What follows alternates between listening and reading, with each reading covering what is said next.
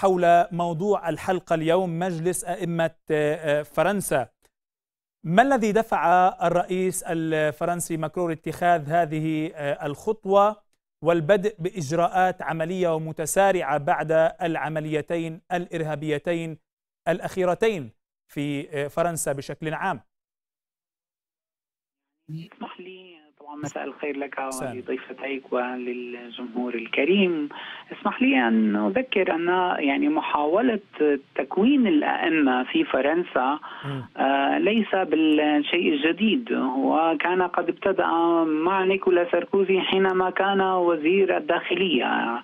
قبل أن يصبح رئيس جمهورية وتعاضد مثل هذا الأمر لاحقا. الآن تبدو الحاجة ملحة أكثر بخاصة أن أولا لأن يعني تكررت الاعتداءات في فرنسا. ومن ناحية أخرى لمشاكل سياسية داخلية فرنسية هناك يمين متطرف فرنسي يتم المزايدة عليه آه، عبر مجموعة من السياسات. وصار الإسلام هو اليوم الورقة السياسية التي ترمى على الطاولة كلما كان هناك نقاش سياسي وهذا قد يجيب على ربما على تساؤل السيدة قبل قليل. في سؤالها نعم الآن الإسلام هو جزء من لعبة السياسة.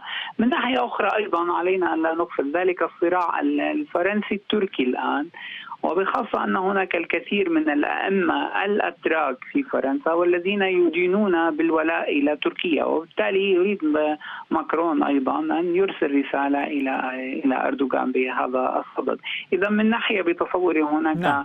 خطاب مزايدة على ومزاودة على اليمين المتطرف وهناك قضايا لها علاقة بفرنسا الداخلية وثالثا أيضا آه، نقطة إضافية وهي أن هناك صراع آه، فرنسي آه، تركي منذ فترة يأخذ يعني أبعادا متعددة. لعل أحدها كما قامت تركيا مثلا بتحويل يعني متحف آيا صوفيا إلى جامع.